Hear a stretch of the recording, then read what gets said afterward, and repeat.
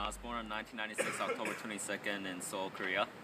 I stayed in Korea until age of seven. Basically, I didn't have like any much Korean foundation, and that was when I moved to Toronto, and I stayed there until second grade. And after second grade, I moved to Shanghai, China for like the next four years. And, and then I moved back to Vancouver, Canada, and then I finished my eighth grade there. And that, and when I entered high school, that was when I came back to Korea. When Steven came to Korea, he had a hard time adapting to this environment. My friends and I would almost speak Korean every day and every time we meet. But when we hung out with Steven, it would be hard to communicate with him because he was really bad at Korean at first.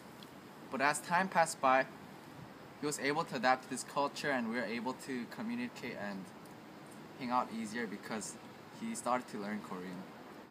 After being in Canada for quite a long time, it was pretty hard to adjust to the cultural difference.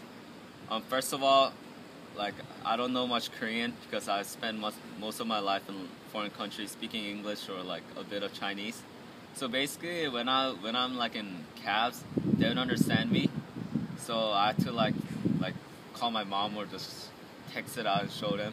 And also, like the high schoolers here, they would just like stare at stare, stare at us like when I'm with my friends talking English, and we sort of have like this like staring contest, but nothing violent went on, thankfully.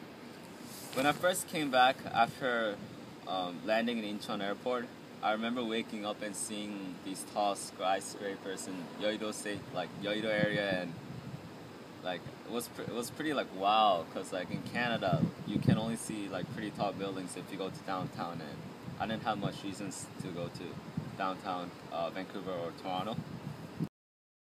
People Here, um, especially my friends, um, we would rather just like go PCing, PC bang, like there's like bunch of computers and we just play games, League of Legends, or sometimes like with other people we just go have fun at Noraebang. It's it's like basically like a room and you can just like sing music. I mean Noraebang is kind of boring. I mean at least for me. And because like in Canada, I also used to just walking in the park with like a bunch of friends or just doing sports, and though I don't do any right now.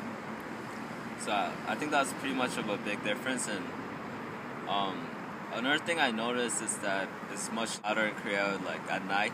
Sometimes you hear like motorcycles or like ambulance or like police cars, and you even hear people fight. So in Canada, if you do that, it will be count like they'll consider as disturbance to the peace, and people can can get in trouble for that. So I think that that was also like a big difference I saw. I didn't shop much because people didn't there don't shop as much. Um, as they do in Korea, like when I came to Korea, like there are like shops like this and that. Yeah, a lot of people started shopping. Like when I became, when I came to Korea.